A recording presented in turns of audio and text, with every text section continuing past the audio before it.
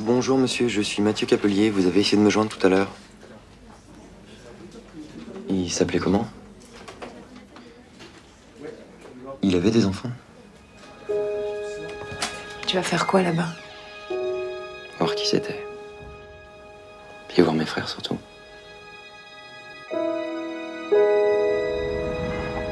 Mathieu? Oui. Pierre? Bonjour. Bon. Il y a 15 jours, il pêchait sur un lac.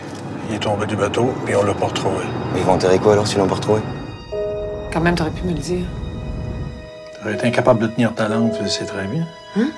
Mathieu est le fils de Jean. Tu vois? Je viens de l'apprendre. là. Moi aussi.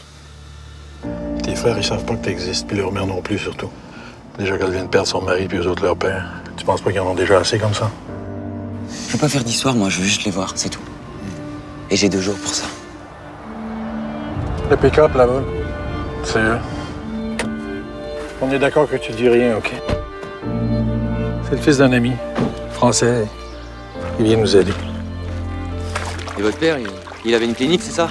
Ouais. Tu fais pas le con, hein?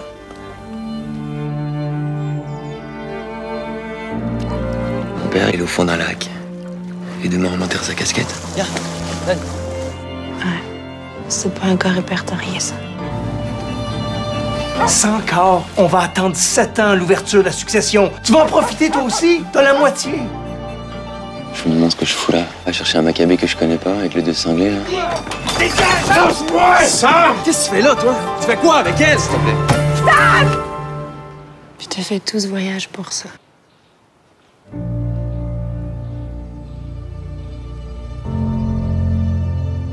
J'aurais aimé ça avoir un garçon.